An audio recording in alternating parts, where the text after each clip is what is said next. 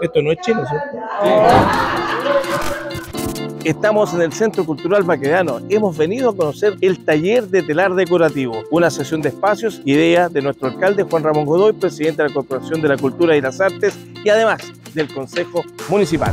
El telar eh, se, de la uniente, la regla que tenemos para poder hacer el tejido ¿Ya? Y esta, la naveta, que uno también puede comenzar a pasar por cada hilo que te van indicando dependiendo del diseño que uno quiere sacar. Se imagina camino a Cusco esta imagen. Claro, con colores. Es que el normal uno eh, hace mantas, hacen ropa y el decorativo uno hace la imaginación de uno. Dicen que quien se arrima a buen árbol, buena sombra tendrá. Y con este regalo que me han hecho acá en el taller de telar, nos despedimos. Que estén muy bien. Chao, chao. Eh, esto no es chino, ¿cierto? Oh. Sí.